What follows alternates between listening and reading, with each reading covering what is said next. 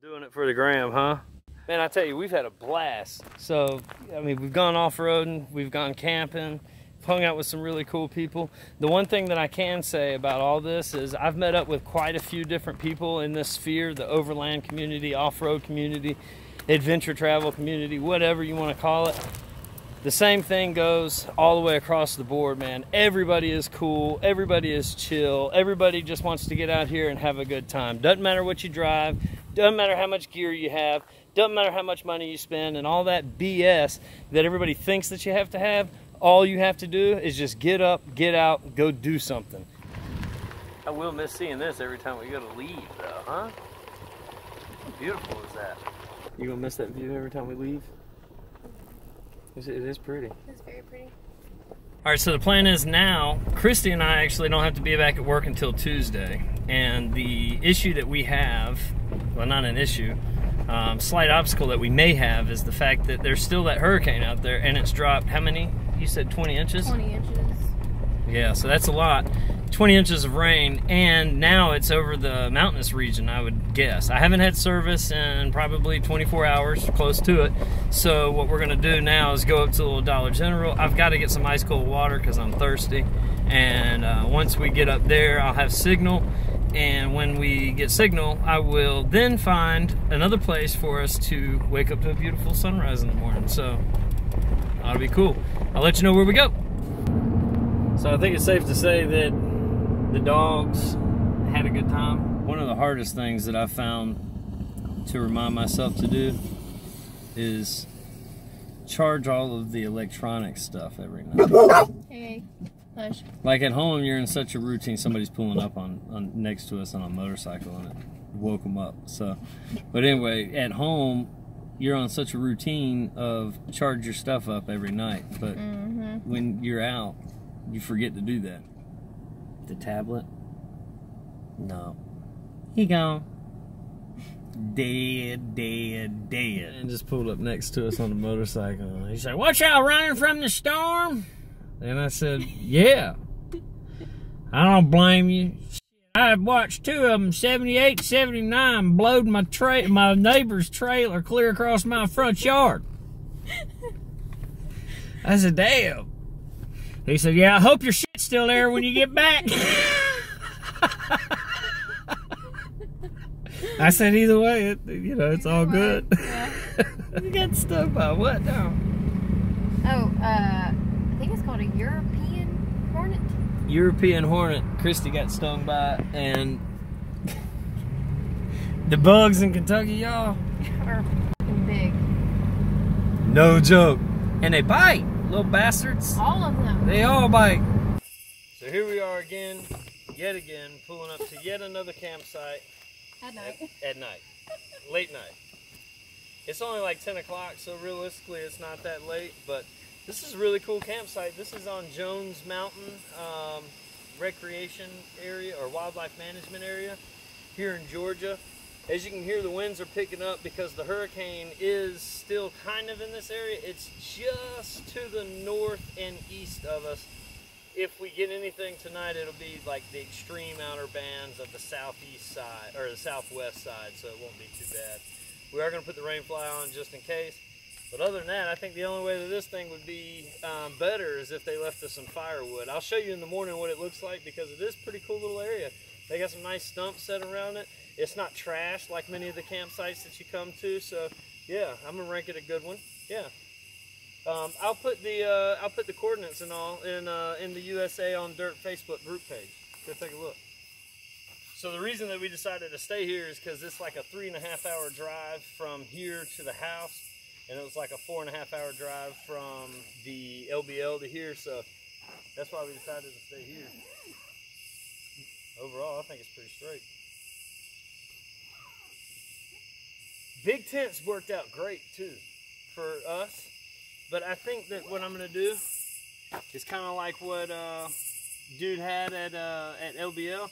I think I'm gonna do one of those uh, ARB awnings because the ARB awning would do away with having to carry away this or carrying this because they have the annex thing that you can put on the side. So not only do I have shade, not only do I have shelter, but I also have a screened in area for at nighttime when the bugs are biting Christy. Just me? Just you. Don't bite me. I was gonna say, I think you got eaten up a little bit today. I've been like literally scratching like a crackhead the whole entire way here. scratching now. I got scratches everywhere. Rubbing down calamine lotion like it's a godsend. These are the kind of things though here. What then? This is the kind of stuff here. Could you just leave and I'll do it? It ends up cut. Why the hell's that thing got so many damn ropes on it anyway? I think you're supposed to tie all this to trees. Shit. Tying up all that shit. Good to go. Call that shit good, dog. Let's roll. I'm I'm about ready to go home, take a shower, mend these bites I've got all over my body. we have yet again come somewhere and got straight bit up. For real bit up. But it happens. Morning.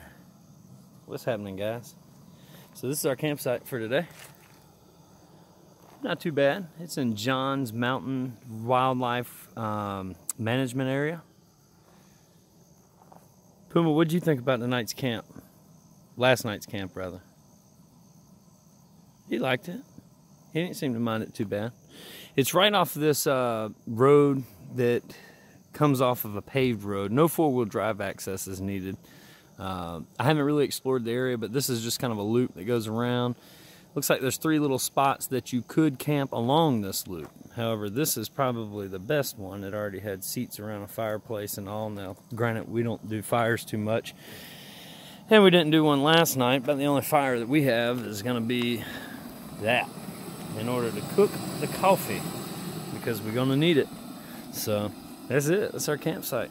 Still waiting on Christy to get up. Today's plan is to head back to uh, Columbia and uh, get back to reality, unfortunately.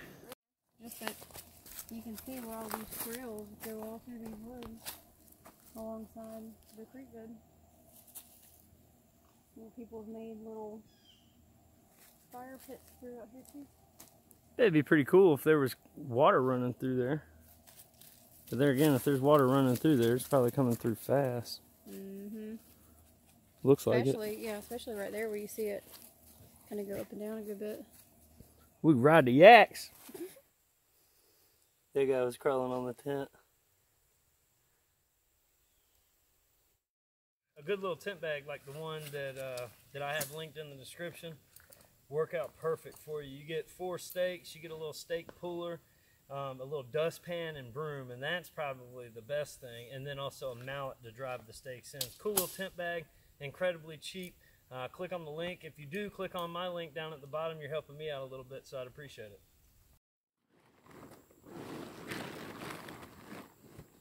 One of the flaws of this particular design is the fact that down there is the base of it, which is really cool and it's something to leverage off of.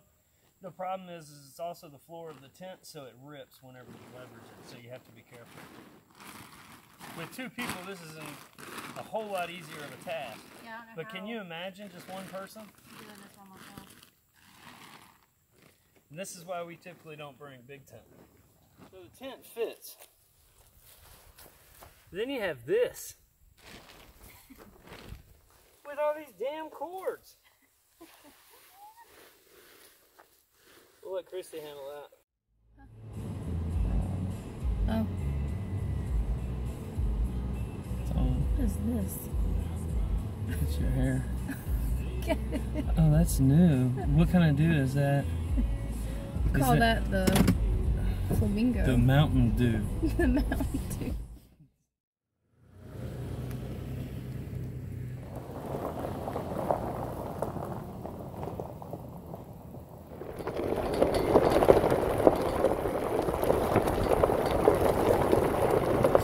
So sometimes this happens. Like you come all the way this far to get to the main road and it's closed. And the reason is is well, I don't know. I have no clue why they close these roads. It just makes absolutely no sense to me. Woods, and we're gonna take it. Hopefully, we can get away out of here. Where? Right there. What? The road? Yeah. Yeah, I see the road right up here. Oh. so it just opened up into a big field. Uh, okay, that's where that would have went if we would have went left. How crazy. Now we're back on the road.